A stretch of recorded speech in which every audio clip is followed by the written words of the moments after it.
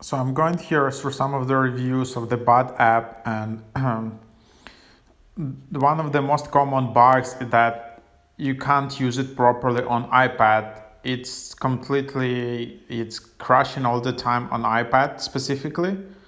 And you see it here, I tried playing this game on iPad and it doesn't even let me play. The screen is so small and there is literally no space to move uh, fix your game. And then the uh, so the feedback from the developer team is that could you record it and send me the video to our email if feedback is absolutely valuable? And yeah so as you can see there isn't even an ipad app. Uh, so the app uh, here is only on iphone so it's not available on ipad.